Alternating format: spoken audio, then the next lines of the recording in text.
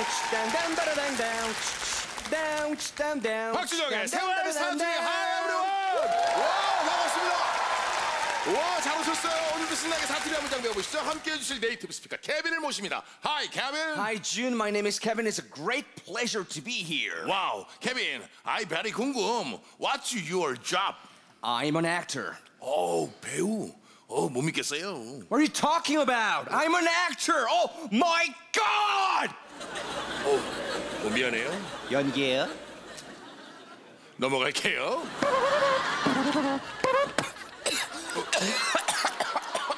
어, 괜찮아요? 연기예요?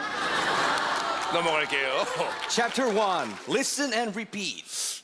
다시 만나자. 내가 잘할게. 헤어진 연인이에요. 근데 헤어진 지는 얼마 안 됐는데 내가 지금 반성을 하고 다시 만나자. 내가 잘할게. 약간 좀 멋쩍은 표현이기도 한데요. 어떻게 표현할까요?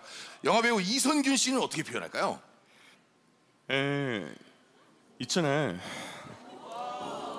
얘기해주고 싶은 게 있는데 우리 다시 만날까? 생각해보니까 넌 나의 스타야 봉골레 파스타 넘어갈게요. 자, 다시 만나자. 내가 잘할게. 다시 만나자. 내가 잘할게. 과연 어떻게 표현할까요? 전라도요. 너그 집에 벗어놓고 온데 파자마 찾으러 왔어. 뭐라고요? 아따 야 그거 며칠이나 됐다고 벌써 걸레로 써버렸다고? 뭐라고요? 나 나와봐봐 나와봐봐. 어유 어유. 몰래? 저놈이 누군지 내 파자마를 입고 있다냐? 아유 어떡해요? 아유 어떡해요? 날 벗어 이 자식아 임마! 그래 알겠습니다. 내 파자마 를! 아우 너무 슬픈데요 너무. 예 알았어요. 아 우리 다시 만나자. 내가 잘할게. 과연 어떻게 표현할까요? 경상도요. 내는 니비 없다.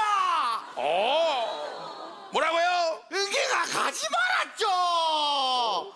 그새 남친 생겼다고. 그지랄 가시라. 뭐라고요? 어떻게 어떻게 어떻게 어떻게? 미수가 나는 니비 없다.